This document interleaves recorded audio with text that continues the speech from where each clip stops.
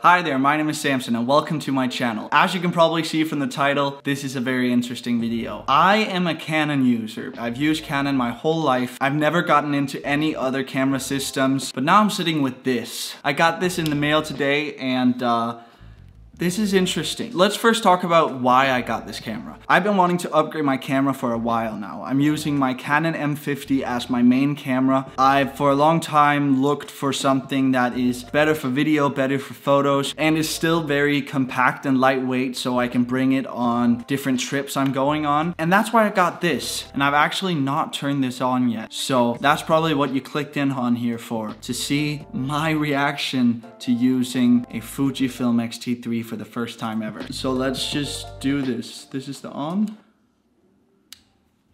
Oh, I forgot the battery. One sec. there you go. Oh my goodness. Okay, so. Oh, that's cool. So I'm just trying to figure out everything right now. Sorry, I, I'm very confused. This camera did come with a manual, of course, but you know what photographers do with manuals? Why does this not work?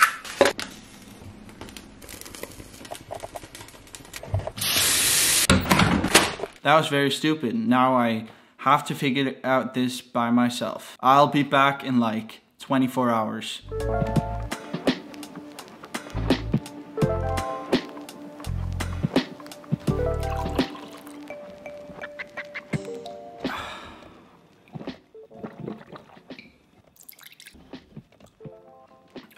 I'm back. So 24 hours have gone by, or actually it's been like a week. And I've really gotten to test this camera. I went to a city nearby where I went out with some friends and took some photos. And let me just give my first thoughts on this camera. This is a beast. This is absolutely amazing. What is going on? It's very easy to say good things about this camera because it's just packed with specs. Disclaimer, this is not a beginner's camera. I would not recommend any beginners to get this camera.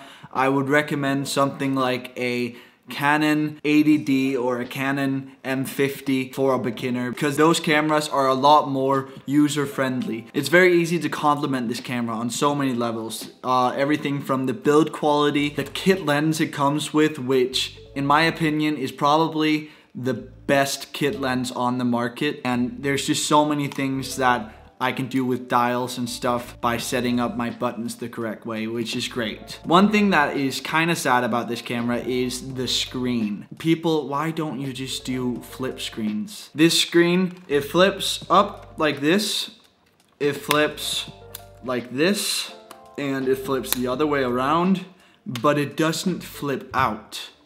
So that's just something I need to get used to because I'm very used to the flip screen uh, like I have on my M50 right here. The grip on the camera is also a bit sad because you don't really get much of a grip with this little lump right here. I feel like this camera feels great in the palm of your hand because um, the size is perfect but I feel like the grip could be a little bit better. It's getting a bit dark, isn't it? And right now I'm just saying all the things that I have of critique. It's really not a lot because like I said before, I'm in love with this camera. It works like a charm, but there are some small things that would be nice to have, but I accept that they're not there because this is a phenomenal camera. I've bought like five more batteries for this because I'm gonna use it at weddings and stuff. You really don't get a lot of battery life on this. Yeah, and other than that, like this camera, guys. I'm gonna buy more lenses. I'm also gonna buy a Fringer adapter, I think it's called. It's like so you can add Canon lenses and stuff. But these were my first